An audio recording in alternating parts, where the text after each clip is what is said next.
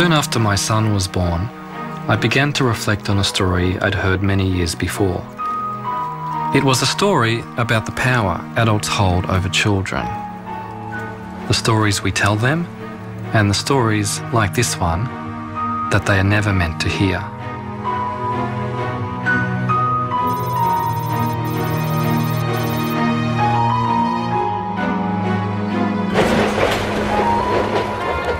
The 6th of April 1966 started just like any other day in the city of Melbourne. Then something very strange appeared in the sky above the suburb of Westall. It hasn't been explained to this day. This boy come running in and say, Mr. Greenwood, Mr. Greenwood, there's these things in the sky, there's these things in the sky. We looked up and we just saw this saucer type thing taking off. It wasn't a plane, it wasn't a balloon, it was nothing like that. A lot of the kids took off towards where it seemed to go. All the students were just running all over the place, uh, hysterical. Westall High School as a, as a teaching situation ceased. My girlfriend and I sat on the fence, climbed the fence, the school boundary, and we were crying, thinking it was the end of the world.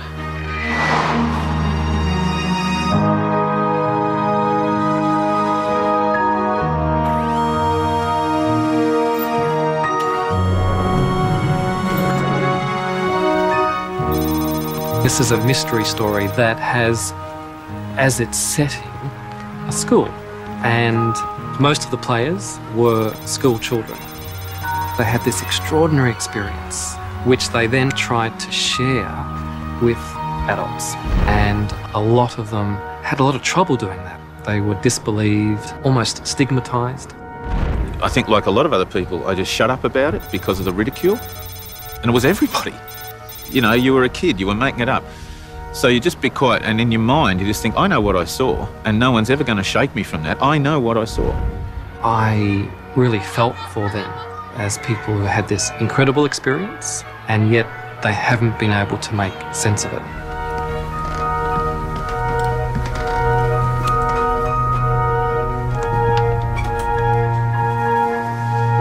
This is the biggest mass UFO sighting in Australia, yet it seems to have been suppressed, deliberately kept out of the public view. Like the witnesses, I want to find out why.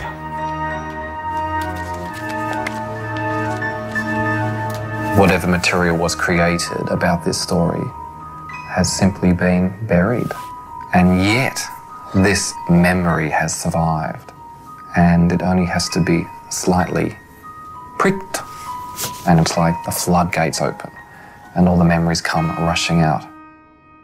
I was precipitating various chemicals in order to make crystals. And I just happened to be looking out the window, thinking how to fudge my science report. What I saw directly south was something that I'd never seen before. We were out playing sport on the oval. One of the kids yelled out, Look, look up in the sky, you know, it's flying saucers. And, and I remember we all looked up and it really was a flying saucer. I mean, from what you imagine, a flying saucer, it was a round silver disc. Um, and it, it, seemed to be very low over the school. And I remember kids screaming and running inside. The student came in, uh, was hysterical, leaned up against a sliding door, screaming, There's a flying saucer in the oval. And of course, everybody started to head towards the door, and the teacher said, Sit down, it's not recess yet. And a few minutes later, the bell went off.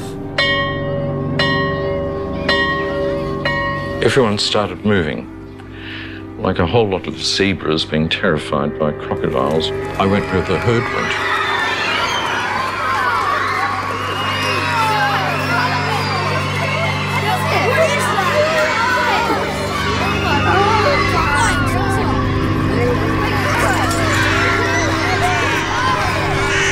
Barbara Robbins was the chemistry teacher at the time. She just grabbed a camera and started clicking.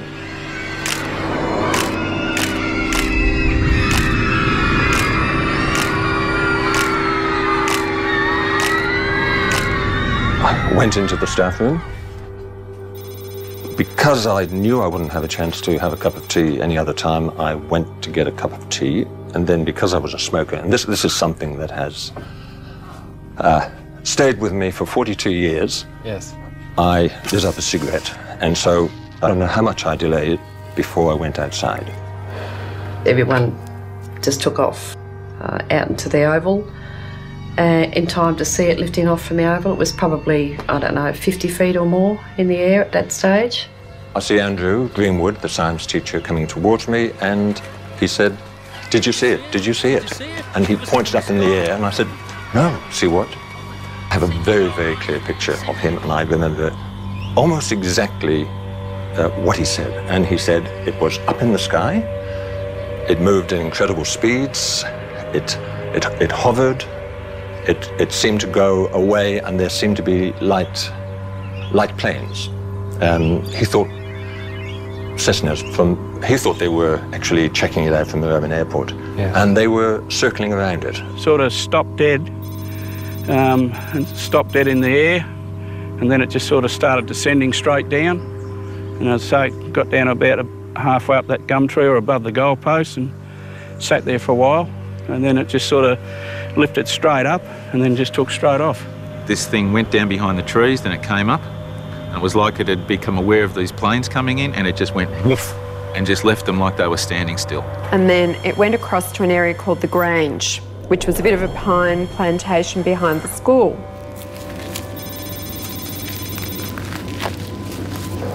Because I walk around with the Westall story inside my head, as soon as I enter the landscape of Westall, out it comes like a three dimensional children's storybook. It pops up out of the soil. It's like I've entered my favourite children's story.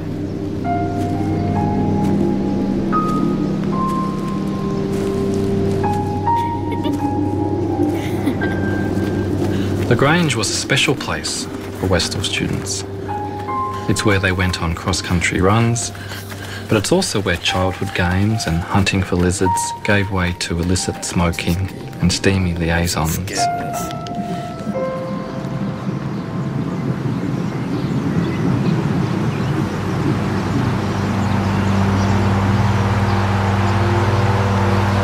Going the wrong way now.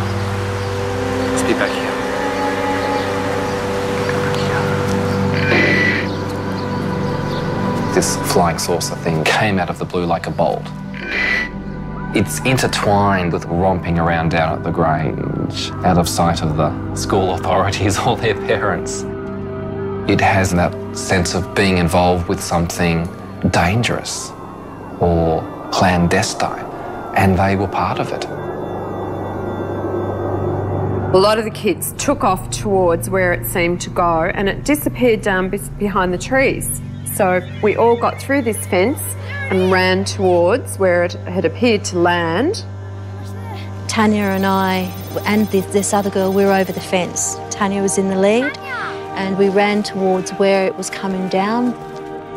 I lost sight of Tanya. She was in front of me. A couple of girls got there faster than me. I'm, I was a bit slow. And they actually passed out. And apparently it did land because when we got there, there was a great big round patch of like flattened yellow, almost burnt, although I'm a bit sketchy on that. I can't remember if it was really burnt or whether it was just flattened, but it was sort of yellow and the grass was all flattened in a swirly sort of a pattern. Before I got there, um, the disc came back up again. So I stopped chasing it. We looked up and we just saw this saucer type thing taking off and it seemed to turn side on and just disappear into thin air. Well, what about your friend Tanya? I believe she did see it on the ground, She did see it on the ground. so I was given to believe, Yes. yes. Um, but I went back to school and Tanya went back to school and basically had gone all to pieces. There was definitely an ambulance on the oval, and I was told that she'd been taken away in the ambulance, and that was the last time I ever saw her. Wow. She was just gone, and she never came back to school.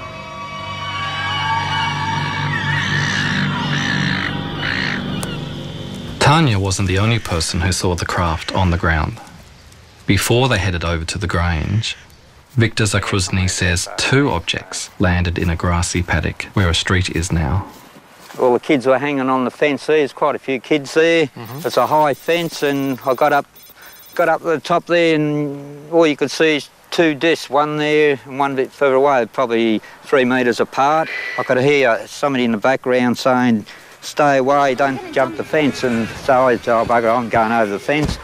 The craft probably would have been about there. And there was another one set back a bit on an angle, oh, probably just about there. There's a few kids walking around there, and I was the only one on this side. I got up to it to want to touch it, and it was, well, you could feel heat about a metre away coming from. It was pretty warm or hot, and within a minute or so, it just, both of them just lifted up at the same time, about this height, and. Um, I seen what, oh, that was breathtaking watching that. And then it just gradually lifted, lifted up, and then went off towards the pines. I did a rough sketch of it. Wow, look at that. This is the view from underneath. That's like. underneath. There's no seams, no joints, mm. it's just smooth metal. Normally an aircraft has uh, sheet metal, pipe rivets, or all that sort of stuff there. This looked like come out of a mould or something like that, all one yes. smooth piece of metal. Uh, it was just incredible. It's just something like you see in the movies. But this is more than just cinema. If we look at the possibilities for this story, they are extraordinary.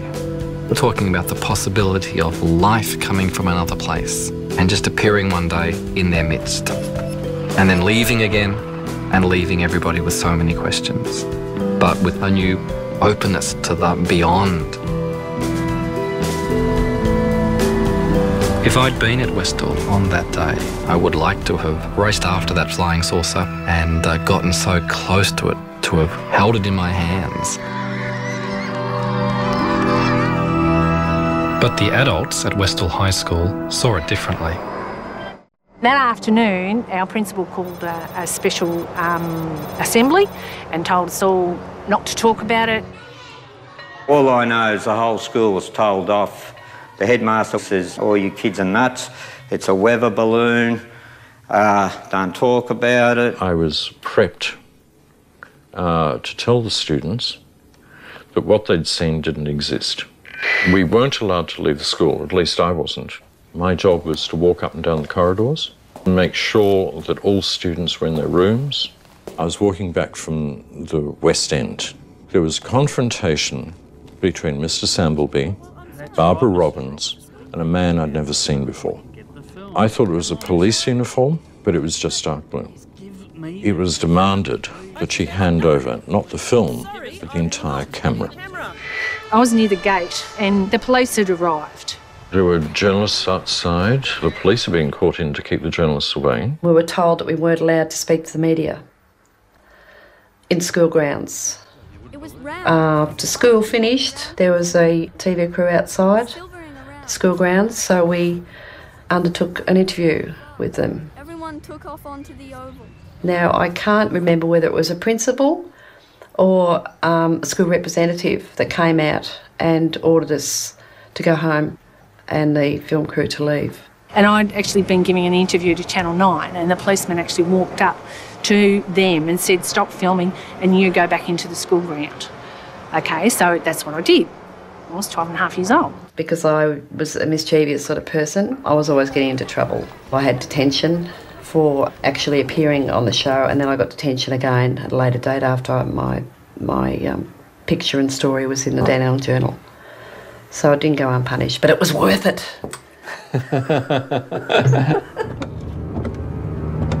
I now had two new leads to follow Channel 9 and the Dandenong Journal. I rang Channel 9 first. They searched for a flying saucer story, and there it was.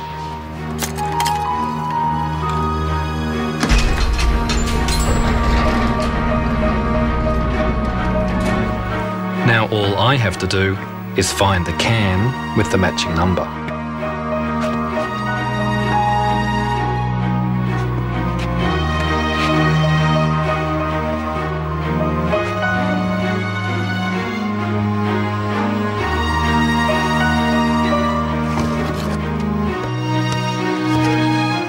But oddly, there was nothing there. I was absolutely devastated, and nobody had any idea where it had gone.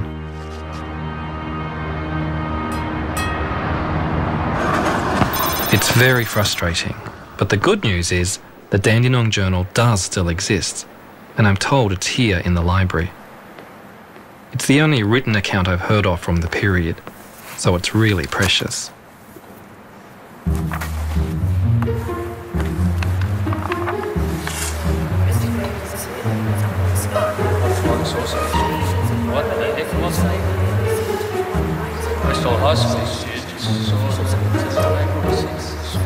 Something obviously happened. Some people apparently didn't want the kids talking about it, and that raises all sorts of questions. Why couldn't it have been discussed? Why couldn't it have been talked about openly? And why couldn't anybody find any more information about what it was? The headmaster, Frank Samblebe, is a key part of the story. He's passed away, but I hope his children, Max and Gail, can shed some light on his behaviour. Hello, Shane here. Anybody home? Hello. How are you? I'm good. How are you? Max?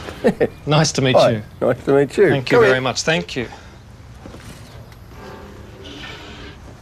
He played 50 games for the Hawthorn Football Club. He was a half-back flanker, and in those days, half-back flankers ran in straight lines, and that's what he did. He was pretty black and white, and, and he had a very strong sense of right and wrong. And yeah, if, if it didn't fit in with what he believed, then yeah, he found it quite difficult. And this thing would have been seen as something that was disrupting the smooth operation of the school. And he would have been a skeptic as well. I mean, he didn't believe in supernatural things. He he believed in the real life, didn't he? You know, when we were kids, there was a picture on the wall of a, a Roman soldier standing, holding his spear, and the lava was all falling down from Pompeii, and people in the background were all crouching and running. And Dad said, "See, he's standing there doing his duty." And you know that. I mean, as children, that's we had to learn that discipline was important, respect, all those things, all the old values. And yeah, he found it really hard as things changed. To he was pretty judgmental. There was plenty for Frank Samblebe to be judgmental about. In the 1960s, rebellion at home and on the streets brought many young people into conflict with the establishment. Schools were run like the military, and teachers demanded respect and obedience. Westall High was no exception. I tried to contact some of the teachers, but many have passed away. As far as I know, only the science teacher, Andrew Greenwood, saw the object in the air. Although he's spoken with me privately, he refuses to go on the public record.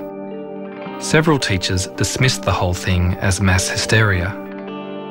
The response left students feeling confused and conflicted. Some are still searching for answers. I want to find some sort of proof that this happened so we don't keep on, you know, getting called silly people and you know, no one's ever wanted to know the details before. They just think I'm stupid and you know, they don't want to know the story. They just I said I've seen UFOs or flying saucers and they say, Yeah, sure. What drugs were you on that day? And um, you know, I was 13 years old. I was at school in the daytime. I wasn't on any drugs.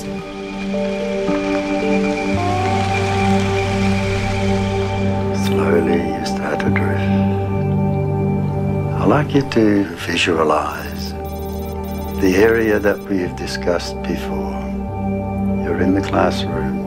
You're with Mr. Greenwood, who was the teacher there. There's a little fella comes running around and says, there, flying saucers outside, flying saucers outside. Everybody laughed. And Mr. Greenwood said, come on then, let's have a look. See yourself running down the Eiffel.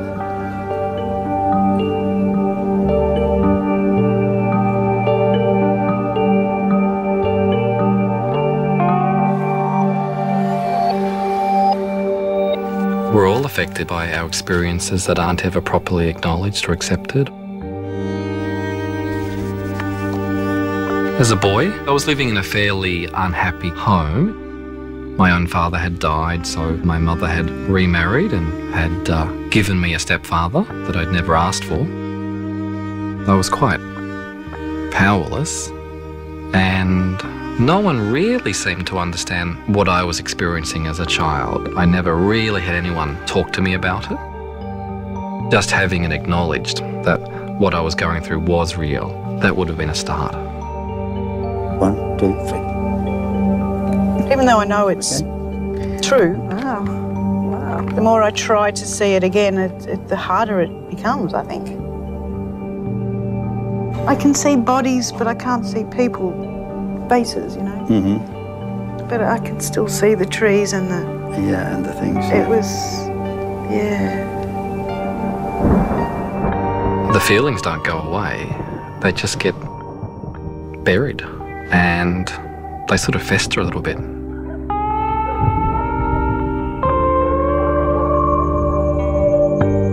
I saw the classroom for the first time, and then I saw heads bobbing, walking across the, the oval towards the end of the school ground, and then there they were. Still not 100% clear, but I know what they are. They're, they're UFOs. If they were UFOs, there should be people around the area who can corroborate what the students saw. A headmaster might be able to shut down a high school, but surely not a whole suburb. Within days of delivering my flyers, I'm contacted by a new witness, Paul Smith, who used to work on a property next door to the Grange. We were loading up for market, and as we were pulling the carrots up, I looked up and I was facing the object in the sky, and um, I just thought, oh, somebody's got some way of uh, projecting a film of something into the sky. I didn't believe that it was really happening. But um, my boss turned around and he saw it, and we stood there looking at it for several minutes. A few moments later, the children came over from the high school and they noticed us, they saw us, and they sort of took a while to make up their mind whether they would come onto the property, realising it's private property. Yes. And they um, decided they'd come in anyway, and they did. They ran straight over, straight over the market garden, and they crossed and walked down here to this corner. After a while, um, trucks turned up with, um, it looked like army trucks. Right. And um, there would have been about 20 guys got out. About how long after Um, the object had vanished in the trees? Oh, I think it was only 20 minutes, which Only- is not a long time. How did you know they were from the army? Um, well, they were khaki coloured trucks, the um, covered in patches, you know, sort of that they uh, to hide, you know. Like what are they called? camouflage? Camouflage truck, yeah. And it was uh, the long ones that carried quite a few people, and a couple of jeeps. So a couple of Yeah, trucks, yeah, a and couple jeeps. of jeeps, Yeah, and about 20 men Yeah, in, in uniforms? yeah, yeah. And the uniforms were what sort of uniforms? Uh, just khaki coloured uniform. Just khaki? yeah. No other, don't remember any other sort Not of that I can remember. no. colours or... No. I went looking for a military expert. If the army was able to turn up in just 20 minutes, where could they possibly have come from? It's quite evident that there was no deployable troops available in Melbourne at the time. Um, the main units uh, were all logistic, uh, the supply battalions and so forth at places like Broadmeadows. There were lots of uh, citizen military forces, uh, today's equivalent of the Army Reserve, part-time units, but they couldn't have responded uh, so rapidly, uh, and nor could they have responded in such a large number. I've come to the conclusion that the first people to respond to the incident at Westall would have been civilians of some sort, quasi-civilians, uh, probably working for defence uh, and probably wearing the sort of work dress that civilians working for, say, the Department of Supply, say, the research and development uh, establishments of the period, the sort of work dress that those personnel wore. I discovered that other people in uniform were seen in the area on the day of the sighting. Les Medju went to the Grange with his younger sister, but they saw what seemed to be a different unit.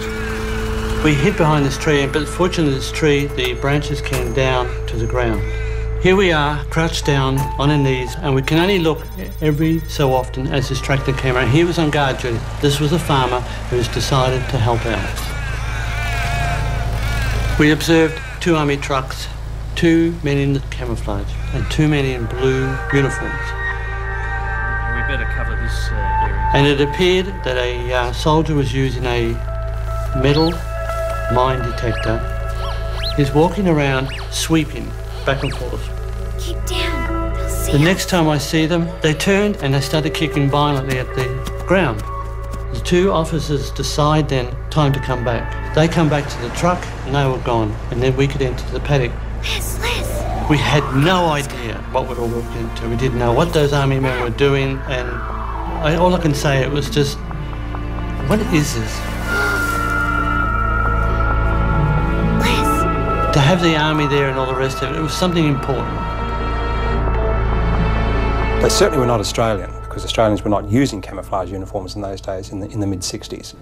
Uh, nor would they have been British. But the description of the uniforms certainly matches those worn by the United States Air Force um, in the mid 1960s. There were American military and intelligence personnel in Australia in 1966 as part of the Vietnam War effort. The Cold War between the USA and the Soviet Union was in full swing, extending across the world and even into outer space. We choose to go to the moon in this decade and do the other things, not because they are easy, but because they are hard. The space race between the superpowers fueled the public imagination at all levels. Flying saucers have invaded our planet. Washington, London, Paris.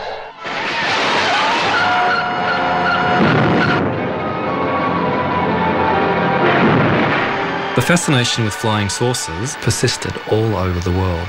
Australia was no exception. Well, so far, I haven't seen anything even vaguely resembling a flying saucer or even a flying cigar. But thousands of people, in fact millions, do believe they exist. What do you think they are? They are real, anyway. They come from the other planets. Some of them may come from the centre of the Earth. I haven't seen one close up yet. This is what I'm looking forward to one day. You, you took a step towards the figures and the object. We used to invite people who reported sightings to talk about their experience because if the sighting was a dramatic one, they would feel, you know, I just need to talk to somebody. But if I discuss it with my friends, they say, What have you been drinking? But they needed to talk to somebody who would take them seriously. Although Society members tried to investigate at Westall, they came up against a wall of silence. All they can now find in their files is a couple of photographs and a sighting report filled in at the time by one of my student witnesses, Joy Tai. They also went to Moorabbin Airport to look for the pilots of the aircraft that apparently chased the UFO, but nobody came forward.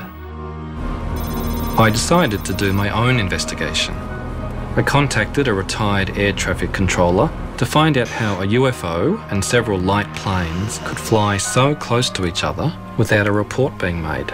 Who was responsible for controlling the airspace?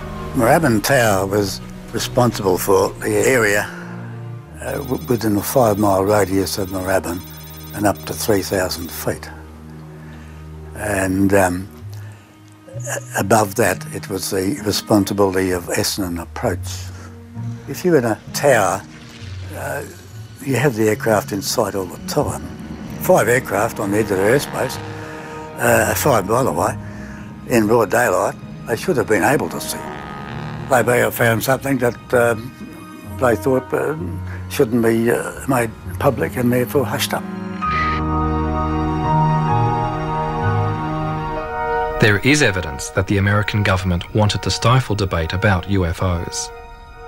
They set up a committee to objectively investigate UFOs, but a leaked memo revealed that the whole investigation was a sham. The government's most vocal critic was the top atmospheric scientist, Professor James McDonald. Why has the government taken this attitude, in your opinion? As a result of the extremely heavy wave of sightings in 1952, the CIA and Air Force became so concerned over the sheer number of uh, uh, reports that were tying up Air American intelligence channels that they wanted to get this signal out of the system, asked the Air Force, the CIA asked the Air Force for a, a debunking policy. The literal wording was to debunk the flying saucers, to decrease public interest in the UFOs. Uh, regulations were promulgated uh, very shortly that made it a crime uh, punishable with, I think it's $10,000 fine and or 10 years in prison to release any information at airbase level on UFOs. And as a result of that, nothing resembling any scientific investigation has been going on in the past uh, 15 years. In Australia, we followed the American policy of ridiculing UFOs, so I started searching for other sightings that might have happened around the same time as Westall. I discovered that four days before Westall, a witness took a photo from his backyard in Melbourne that matched descriptions of the object above Westall.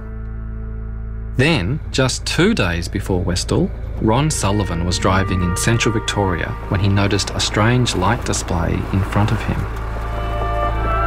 Got up towards it and holy moly, the whole thing lit up and the 10 foot area at the bottom sort of come up and met the top and the headlights of the car was the biggest awesome thing I've ever seen. They just pulled to the right as if they were magnetised.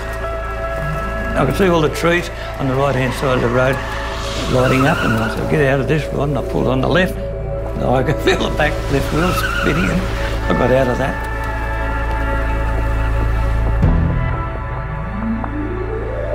Ron only reported the incident after he heard that a young man died when his car collided with the same tree Ron had narrowly missed two days earlier. A couple of people from the government departments came and visited me. I know one was from the Air Force. They looked at the car, just walked around. I said, well, let's know what you find out. And they said, yeah, we will. We will, Mr Sullivan. Never heard any more about it. When I checked out the Royal Australian Air Force's list of UFO sightings for 1966, none of these cases were mentioned, though we know they investigated them. It took 16 years for records to be made available to UFO researchers. They knew what I wanted to look for, and when I arrived, uh, there was a body of files there that consisted of a couple of very large uh, postal sacks. I kept requesting more and more files, and ultimately I got to a point where I examined a continuity of files that satisfied me that I was seeing a comprehensive picture of the RAAF investigation at that time. I had a shopping list of things that I was focused on, and uh, one of the key cases that I wanted to find out about uh, was the Westall case. And surprising, with the rest of the shopping list, I was fairly successful, but the, the, the Westall case, given that there seemed to be uh, literally at least hundreds of people involved with it that had media attention at the time. There appeared to be evidence that there was a military investigation at the time. Um, there was no Westall file. The disclosure team uh, was between about six and nine people over over the years. As you can imagine, a four or five year project, as it turned out, needed quite a lot of effort literally it was looking through hundreds and hundreds of file titles, maybe even thousands in the end. Along the way, we were always looking for files on the Westall incident from 66. We started off with the Air Force, but within the Department of Defence, we also checked out uh, files belonging to the Air Board, unit files from Air Force bases, former Department of Civil Aviation, Air Safety Bureau, CSIRO, intelligence files, ASIO. But the net result is we found nothing in this mammoth a volume of, of government documentation, uh, which would even begin to be a hint that there was something about Westall in the government files. So, uh, amazingly, we drew a blank. The Westall sighting had clearly been erased from the record, but why? I hoped some publicity would draw former authorities out of the woodwork. I'm Shane. Channel 10, nice to meet you, Shane. Joy, is it Mark yep. Howe from Channel 10? Nice to meet you. What we're really trying to get now is the people who are here as police, as soldiers, as scientists perhaps, looking close up at what was on the ground. Some closure, Joy. How would you get some closure on this? One thing that we would really like would be that someone, either from the police or the military, would come forward and say, yes, they were there.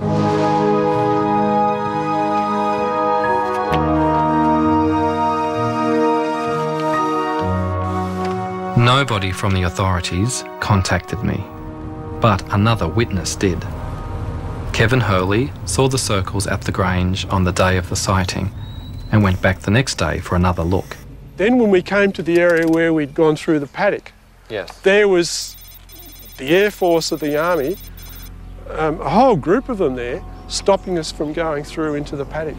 Don't come near this in this area, and we we just um, headed off, headed off back home. And did they give you any reason No. why you couldn't come through? No, there were vehicles on the paddock, um, and they had some sort of instrument which at the time I thought looked like Geiger counters. The strong memory I've got is what happened after that. About a week later, I decided to go back again to have another look. As soon as we got down to where the, the paddock started, all the grass had been cut, which was quite disturbing. Wow. So then we walked through that area to where the um, circles were, and when we got into the area where the circles were previously, the whole area had been burnt, destroying all evidence. You asked me whether an R&D establishment would destroy evidence. Yes, of course they would. Bearing in mind that in the 1960s, Australia had great success uh, financially with uh, some of their pilotless target aircraft. Information related to some of these sorts of projects, if it was to be released to the, to the wrong party, uh, then it would have very adverse effects on Australia from a financial point of view. Any surviving documentation uh, would be in Defence Central somewhere, uh, but also um, probably overseas with the Ally. And there may even not be anything left in, in Australia. Because bearing in mind, it would have been very highly classified and could well have been destroyed, as so much of that sort of record is after a period of time. So it's no wonder that I haven't unearthed any official records on Westall. But it's clear the authorities had something to hide. Just got called into the gymnasium, and then these people spoke, and um, you know they just sort of said, "Oh, well, what you saw was sort of an experimental thing, and you know we just don't want anyone talking about it or it going any further." So How many people were there that came and do you remember? I think there was five, from memory. And they were were they men and women or Um, yeah, I think there was three men and two women, from memory. So I'm not 100%. sure? And you remember? Do you remember if they were wearing uniforms? Some of them they're were in just, uniforms. No, they're or- just just in plain suits and in suits. Yeah. And did they explain where they were from, who they were? No, not really. Um, just couple of the teachers said afterwards they're from some one of these experimental mobs to do with the armed forces and stuff like that, and and, uh, and that was the, sort of the end of it. It, it had to have been something that we were working on and we, we, we knew all about it. We were in on it, even though we mightn't have known the detail. To have responded, that's one of the, that really, to my, to my way of thinking, that's the key, is the fact that we respond, whoever it was, the authorities responded so rapidly. Now, they must have just about been sitting on the trucks with the engine going. And perhaps they were. Perhaps they'd received uh, technical intelligence that there was something going wrong with this experimental craft and they weren't sure where it was going to land, but they were ready to go get it as soon as it did land. It sounds like a rational, logical explanation, but it needs then to be supported with evidence. If you think about how the people described the shape of it, the speed, the manoeuvres that it made, there is nothing around today that comes close to that. The final proof might be, for example, getting a piece of the flying saucer and examining it, uh, subjecting to, to scientific examination, and finding that it's it's a uh, of an element that is not manufactured on Earth. Now that would maybe the final proof. We haven't got that. So we're still at the circumstantial uh, evidence stage, and whether that leads you to say, well, th- th- these are from outer space, they're interplanetary spaceships, or not, is, is a philosophical question. It's a question of what, what you yourself feel is proof. A yellow sign. I crave the proof that can be held in my hands and touched and smelled and measured. But I think we need to make room for a little mystery in our lives as well. I reckon Yeah. somewhere in this area. I believe truth can exist without proof of it, and I see a real truth in the stories and memories of the witnesses, Probably even if it doesn't answer the question, what was it that flew over Westall? what I saw, I believe, is what a flying saucer has left behind. Professor James McDonald looked for proof in statistical data. His research brought him to Australia a year after the Westall sighting. I'd ordered some of his papers from Arizona University, hoping to find something about Westall. Wow, what is all this? There's a lot of stuff here. James McDonald's journal. His trip to Melbourne. There'll be stuff about Westall. Has to be.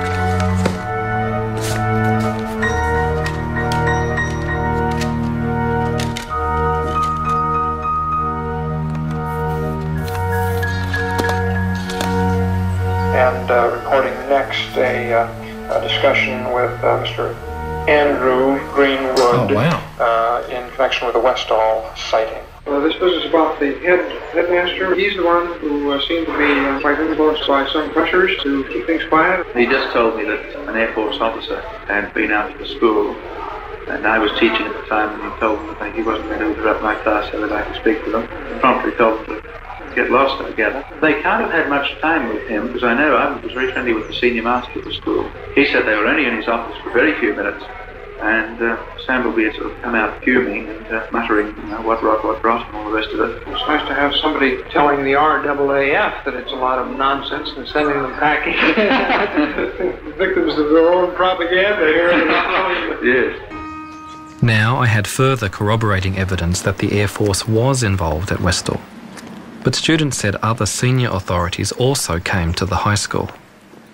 I was called down to the headmaster's office, and there were two men in the headmaster's office, very well dressed gentlemen um, in suits. They weren't introduced to me in person, and I don't know where they came from. From my references now as an adult, I would say they were ASIO. So this is the actual office. Oh, this feels quite weird, yes. Yes. There was a desk down this side here, and the headmaster was over here on that side, and the two men were standing over there. And I stood with my back to the window. Only one man spoke, and he started off by, We, we'd like you to go through what you said happened yesterday. He was firing questions at me Okay. fairly, fairly rapidly. Then we went into, oh, and we suppose you think you saw a flying saucer. And I'm like, well, I didn't say that. I said I saw an object, and, and we suppose you saw little green men. Can you remember how you felt once it was over? Um, when I was actually in the confrontation situation with, with the men, um, very, very, felt very, very angry. Um, when I came out, I think I burst into tears. They were certainly Australian government, and I think it was part of their job to keep everything quiet and to not let, let the facts come out. Um, they knew more than what they were they were saying. It was their job to, to squash what was being seen. It was a bunch of kids that saw this, so we would be able to squash this down. The authorities had found a way to silence the children, but they still had unfinished business with the teacher, Andrew Greenwood. He told me that two officers came to his home and threatened him under the Official Secrets Act. They said that he couldn't have seen a flying saucer at Westall because there were no such things as flying saucers. They threatened to tell people he was alcoholic, even though he wasn't. As a first year teacher with a career ahead of him, he couldn't take the risk of speaking out. The person who had taken all the risks was Professor James McDonald. His criticism of the government had provoked powerful enemies, but it didn't stop him challenging the establishment with other unorthodox scientific theories. Years ahead of his colleagues, he predicted high altitude aircraft would destroy the ozone layer and increase the risk of skin cancer. He was invited to address the US Congress, but during his testimony, a congressman made an opportunistic attack. He publicly ridiculed McDonald by saying he believed in UFOs and little green men. McDonald's professional reputation was ruined. James McDonald tried to create a climate of openness where unorthodox thinking could flourish. That's not what happened at Westall. I remember the assembly that we're all called for. We weren't even allowed to talk about it in school. We weren't allowed to mention it at all. There's like 20 people plus in the room at the moment, and there's a real buzz, and everyone's talking about my story. They're talking about the story. And as they're talking it through, they're, they're putting the pieces together. It's wonderful. What isn't wonderful in the telling of this story is that Professor James McDonald finally gave up the fight for UFO science. Humiliated and broken, he took his own life. McDonald's suicide played on my mind. I began to think about weapons of mass destruction and global warming, where other brave scientists spoke out and were quickly shut down. I want my son to grow up in a world where it's possible to discuss and investigate even the craziest ideas without fear of ridicule or punishment.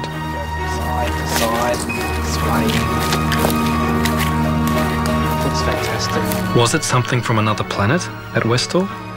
It certainly flew, as if it was. I'm left with the feeling that what people saw was what they said they saw something out of this world.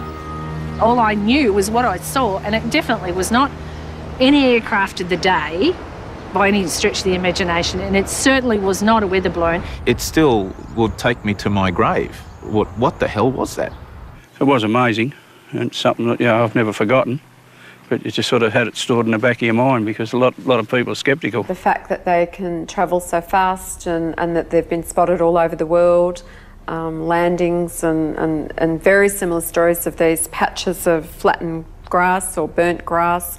I, I personally believe that there is something going on somewhere else.